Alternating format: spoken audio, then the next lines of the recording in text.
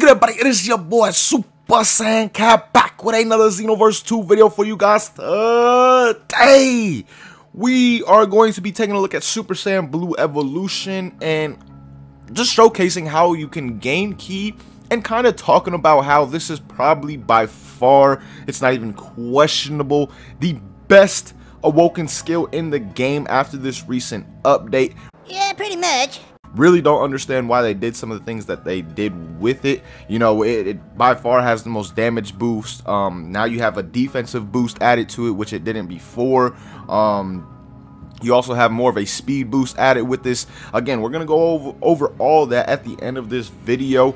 But first and foremost, getting into how basically you can gain ki with Super Saiyan Blue Evolution now after the DLC 10 update when they lessened the amount of ki that is taken away for actually using that.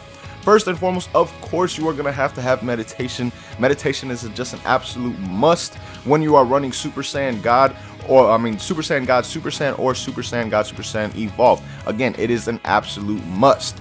Now the next thing that you're gonna need is a super soul. There's one or two super souls that I would run. The second one, which is actually the better one I do not have, I need to get it on PS4. I have it on Xbox.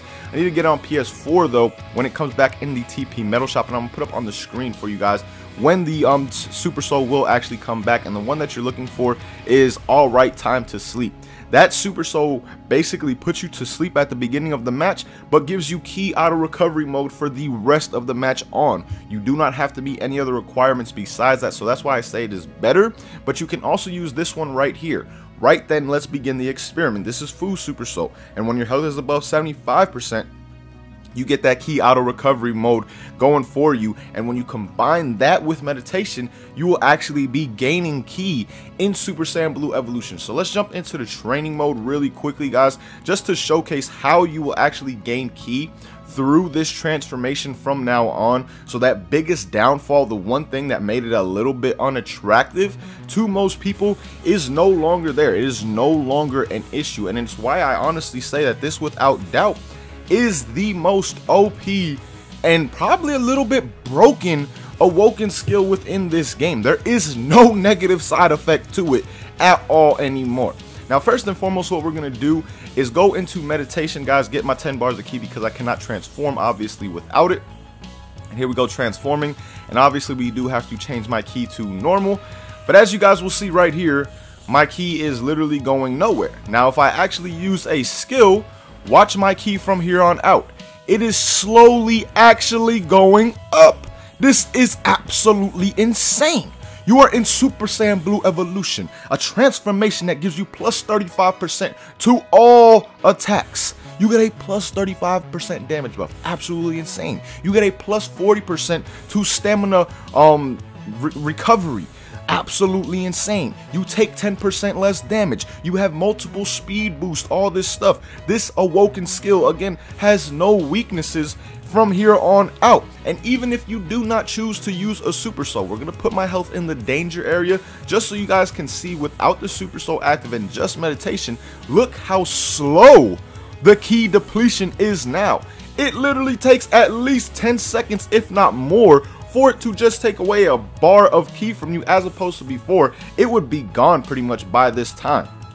So again, man, there's a lot going for it. As you see, look how fast it is going now. And then once you use that meditation, the ki depletion is barely any. So even if you are someone who doesn't play without limitations, if you just play with limits, you can still just barely lose any ki with this transformation now, even um without that super soul, like I said. So this update really, really made this transformation a little bit insane, in my opinion. Not only can you gain ki with it, if you do have have a super soul, whether it be the Fu super soul, the alright, it's time to sleep super soul, and if there are any other ki auto recovery super souls out there, if you have one of those on, then you are going to be gaining ki when you combine that with meditation in this transformation.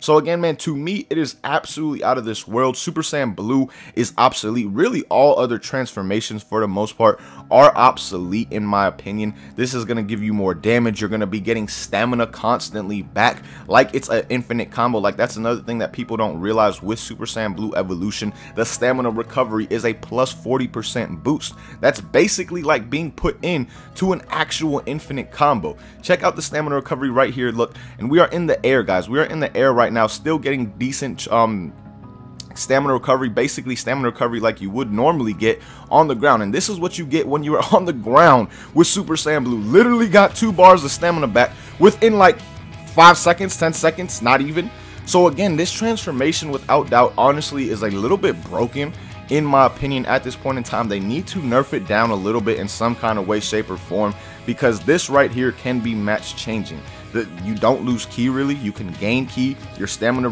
uh, gaining is absolutely insane. Your damage your speed your defense. That was a major downfall of this transformation as well is that you actually took more damage when you went into super saiyan blue evolution just like you do with super saiyan blue.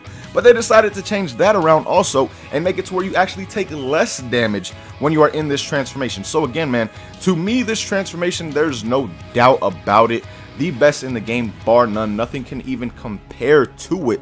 Like super saiyan blue at least was viable before because you didn't lose all the ki and things like that. It is no longer the case. Super saiyan blue is basically useless at this point in time. So let me know what you guys think about this down below in the comments. Do you guys are you guys using this already? For one because there are some people out there who will probably already know about this things like that. And will you guys be using this if you are not at this point in time for super saiyan blue evolution? And do you agree with your boy that this is probably without doubt not even comparable the best awoken skill within xenoverse 2 let me know all that down below in the comments. But as always man thank you guys so much for watching. Really hope this video helps you guys out for anybody that you know may need this or anything like that. But till next time again thank you guys so much for watching. Hope you guys enjoyed and as always hope you have a good day. Peace y'all